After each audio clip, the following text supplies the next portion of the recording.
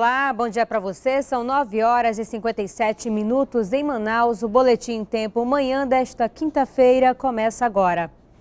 E na noite dessa quarta-feira, bandidos invadiram um shopping da zona centro-sul da capital. Pois é, um assalto à mão armada em uma joalheria assustou clientes que frequentavam este shopping aqui na zona centro-sul da capital na noite desta quarta-feira. Tiros foram ouvidos no local, a administração do shopping confirmou o ocorrido, não houve feridos. Funcionários de uma loja disseram ter ouvido mais de 10 tiros. Depois da ocorrência, várias lojas do centro de compras foram fechadas. Os disparos causaram tumulto no shopping. Clientes e funcionários tentaram se esconder dentro de lojas. Não há confirmação em relação às circunstâncias do crime e nem sobre os suspeitos. Em nota, a administração do shopping confirmou o assalto. A polícia militar foi imediatamente acionada e o shopping está colaborando com as autoridades para o acompanhamento da investigação e esclarecimento dos fatos. Não houve feridos e o empreendimento continua funcionando normalmente. O caso foi registrado no 16º DIP, onde já está em investigação. Bruno Fonseca para o Boletim em Tempo. O ministro Celso de Mello, do Supremo Tribunal Federal, rejeitou a reclamação contra a decisão do Tribunal Superior Eleitoral que cassou o mandato do ex-governador do Amazonas, José Melo, e do ex-vice Henrique Oliveira. Conforme a decisão, o ministro aponta que a reclamação só pode ser admitida quando as instâncias ordinárias forem esgotadas e ainda há recursos pendentes de análise no TSE. José Melo e Henrique Oliveira foram caçados pela prática de compra de votos e uso de dinheiro público durante as eleições de 2014. Os homicídios contra mulheres aumentaram 98% no Amazonas. Nessa quarta-feira, mais duas mulheres foram mortas. A repórter Marquilze Pereira tem as informações. Isso mesmo, duas mulheres foram assassinadas ontem e os casos são investigados. Uma delas foi identificada como Josenilce Marinho e ela completaria ontem 24 anos. O corpo dela foi encontrado lá num condomínio de Iranduba. O principal suspeito é o marido dela, porque o carro dele foi encontrado nas proximidades e ela já tinha uma medida protetiva contra ele, ele não podia chegar perto dela. E um outro caso aconteceu aqui na capital, no Aleixo. O corpo de uma mulher foi encontrado em terreno baldio, ali próximo à Avenida das Torres. Ela ainda não foi identificada, o corpo está no Instituto Médico Legal e ela tem entre 40 e 50 anos, segundo a polícia. Ela foi estuprada e estrangulada, foi o que apontou aí a delegacia. Bom, os dois casos são investigados e eles vêm à tona justamente no mês em que foi divulgado um estudo colocando o Amazonas na lista entre os 10 piores estados do país para para as mulheres viverem justamente por causa da violência. Marquilze Pereira para o Boletim Tempo. Obrigada, Marquilze. Ministério Público do Amazonas denunciou cinco PMs pela morte da policial militar Deusiane Pinheiro, encontrada morta em abril de 2015 na base flutuante do Batalhão Ambiental no Tarumã, Zona Oeste.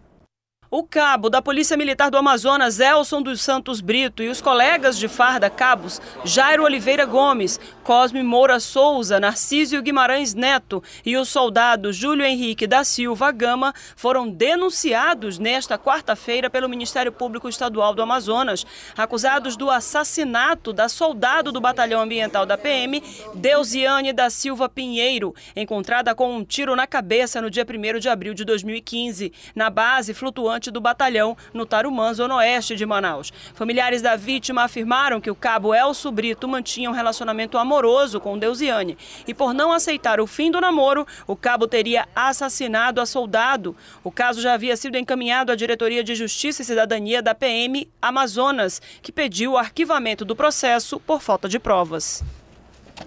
A Secretaria de Segurança Pública do Amazonas fez a demonstração do poder de fogo dos novos armamentos utilizados pelas polícias civil e militar em operações especiais, entre eles fuzis calibre 556. A demonstração dos tiros foi feita no Batalhão de Operações Ribeirinhas da Marinha. Os fuzis passaram por vários testes em laboratórios e também durante a demonstração para as autoridades. Eles são menores e mais leves que os fuzis utilizados pelas Forças Armadas, calibre 762. Segundo a Secretaria de Segurança Pública, a compra dos fuzis 556 depende da liberação de emenda parlamentar. O uso vai ser experimental. Sendo aprovado no próximo ano, o armamento vai continuar sendo utilizado. Nós temos é, uma quantidade muito grande de operadores de fuzis é, que estão preparados para utilizar os que nós já temos. Já temos uma quantidade grande de fuzis e os que nós vamos adquirir. Nós já emprestamos do Exército os fuzis 762 e estamos adquirindo uma quantidade agora para teste, porque é uma arma que está sendo lançada, apesar da plataforma ser uma plataforma extremamente confiável, como o nosso palestrante disse lá, um armamento que já participou de mais de cinco guerras é, ao longo do tempo, mas nós precisamos testar. Os fuzis T4 devem reforçar ainda mais o armamento que já foi cedido pelo Exército. Segundo a Polícia Militar, os treinamentos já iniciaram. Nós concluímos um curso do bastão perseguidor, que é o uso da utilização do bastão perseguidor para imobilização do, do oponente. Né? Nós formamos 31 aspirantes e tenentes da polícia que serão multiplicadores para os nossos policiais. Neste ano, nós já capacitamos mais de 1.300 policiais militares. Treinamento constante, não só no tiro, como agora também vão começar com o bastão perseguidor, que estava, não estava sendo utilizado. Os motivos da SSP reforçar os equipamentos das forças de segurança do Estado é para inibir ações criminosas, como, por exemplo, guerra entre as facções, rebeliões nos presídios e também o tráfico de drogas nas fronteiras. As Forças Armadas Revolucionárias da Colômbia estão se desmobilizando. O armamento todo deles não temos garantia nenhuma que vai ser entregue ao governo colombiano. Temos visto muitas armas desse tipo aparecendo aí, escoltando carregamentos de substância entorpecente. Como nós não vamos parar de aprender substância entorpecente, nós temos que nos preparar para essa nova realidade. Só este ano, cerca de 8 toneladas de drogas foram apreendidas. Mais de 500 mortes foram registradas, a maioria por causa do tráfico. E uma empresária foi denunciada por vender pacotes turísticos que eram cancelados e ela não devolvia o dinheiro aos clientes. Para Berenice, a viagem dos sonhos se tornou um pesadelo. Aliás, nem viagem teve. No ano passado, ela comprou quatro passagens aéreas para viajar com a família à ilha de Margarita. O valor do pacote foi de dois mil reais, incluindo passagens, hospedagens e alguns passeios. Berenice desistiu da viagem quando viu que a pessoa de quem ela comprou o pacote estava sendo denunciada na internet. Na primeira hora, disse: não, tudo bem, eu vou devolver teu dinheiro, e só apesar de ameaças mesmo, de eu dizer que eu ia para os órgãos competentes denunciar a empresa dela, que eu ia atrás dos meus direitos, foi que ela pegou e me pagou ainda mil reais em agosto do ano passado. E que ia pagar o, o restante é, com 30 dias, e o que não ocorreu, que desde então ela assumiu. Ela me bloqueou nas redes sociais, me bloqueou no WhatsApp, e assim começou uma alavanche de pessoas que que agora que nós nos encontramos. Nara Simone Menezes seria a responsável pela venda dos pacotes fantasmas, que eram feitos via internet em computadores que estavam guardados nesta casa, no conjunto Flamanal, zona centro-oeste de Manaus. Quando ela era cobrada pelas vítimas, respondia em tons bem alterados. Eu vou, depois, eu vou descontar o teu Ilha de Coche e eu vou descontar o quarto. Para de me encher o saco. Tenho cinco dias para me pagar meus clientes. Entendeu? Ninguém pode constranger ninguém. Se me constrangirem, eu abro o processo.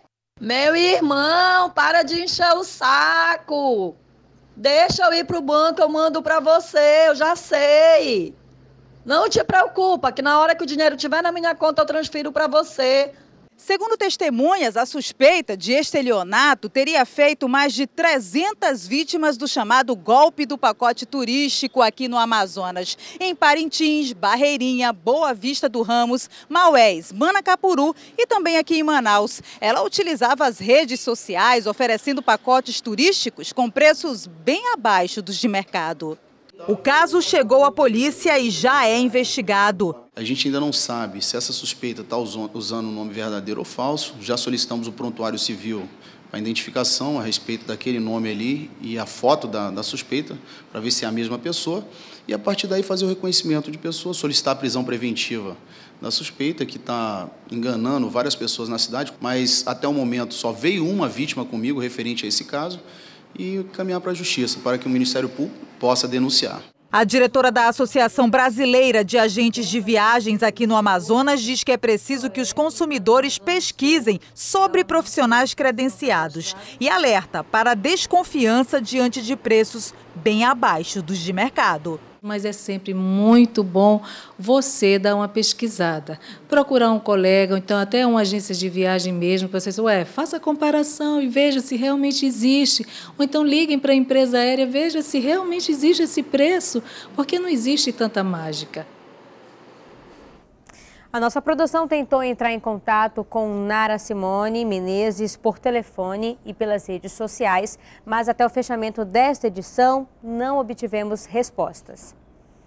E as meninas do Iranduba não param depois da boa participação no Campeonato Brasileiro. Agora elas também mostram o talento no futsal, mas essas meninas sofrem com a falta de patrocínio.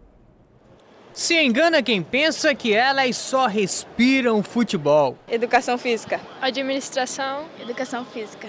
As meninas sabem o quanto os estudos são importantes. E o futebol, o futsal não é pra vida toda, né? Aí, tipo, quando eu parar, o que, que eu vou fazer? Eu tenho que pensar também nisso. A faculdade delas é bancada por uma universidade parceira do Iranduba. Nós temos do grupo das jogadoras do Iranduba, nós temos 20 delas 100% bolsistas da nossa instituição. É, mas ainda assim o time precisa de mais ajuda. Nossa folha gira em torno de 60 mil reais só com as atletas. É, nós não temos patrocínio, o clube banca tudo sozinho. O patrocínio que nós temos é da faculdade, que dá a bolsa da Maurício Nassau. E então nós precisamos que patrocinadores é, com vontade de investir no esporte, que é o investimento mais barato que tem, é, apoiem o Iranduba. O Iranduba teve jogo de televisão, o Iranduba está sempre na mídia e é uma mídia, como eu disse, barata. O governo também apoia, com os campos de futebol para os treinos e passagens aéreas, mas sabe que ainda é insuficiente. A abertura dos nossos complexos esportivos para o treinamento delas, fisioterapia, academia, toda essa questão de estrutura e muitas coisas pontuais que vão acontecendo, é né? um grupo muito grande, então não tem jeito, sempre dá algum probleminha, a gente está sempre junto para tentar de alguma forma é, diminuir, até sanar esses problemas. O Iranduba encantou a cidade. O futebol vistoso levou as meninas até as semifinais do Campeonato Brasileiro Feminino. As guerreiras acabaram eliminadas pelo Santos. Elas foram tão bem que o Iranduba teve jogadoras convocadas para a seleção brasileira principal e de base. Uma delas é a volante Jenny Becker. Ao todo, são seis atletas do time representando o Brasil. Mas e as outras meninas? Bem, elas agora estão no futsal tem uma grande diferença, até porque no futsal é mais rápido, tem que, ser, tem que pensar mais rápido. No campo não, tu ainda tem um tempo para pensar, para construir jogadas aqui, tu tem que agir mais rápido. É uma equipe que já tem uma boa base do futsal, já jogaram o universitário ano passado. Então a gente está trabalhando em cima disso e acredito que não vai ter problema nenhum. As meninas estão disputando a Copa Brasil de Futsal. Por enquanto, as meninas estão invictas, são três jogos e três vitórias. Inclusive, o próximo jogo já tem data, será no domingo, aqui na Arena Amadeu Teixeira. Se conseguirem a vitória, elas vão ficar a apenas quatro partidas do título. O jogo será contra o Alta Floresta de Rondônia e elas esperam uma vitória para continuar em busca do sonho. Continuar trabalhando para, se Deus quiser, conseguir é, ser campeã desse campeonato. O Boletim Tempo Manhã termina aqui. Outras informações daqui a pouquinho às 10h50 no programa Agora. Até amanhã.